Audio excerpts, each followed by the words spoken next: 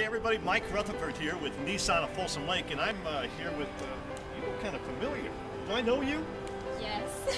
This is Janette, and she was just here yesterday. For what reason were you here yesterday? um, I won a free iPod Nano from Folsom Lake Nissan. Okay, so yesterday she came by and picked up her free uh, iPod because she was our 2000th uh, fan on Facebook.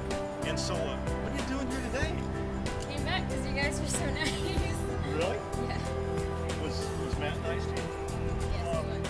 came down today, and, and what'd you do down here today? We looked around at the cars, and my parents and I found something that we liked, so we wanted to find out more about it.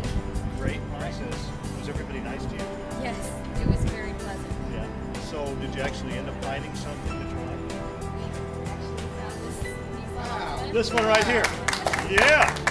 So, did you end up buying this car? Yes. You did. Yes, we did. All right.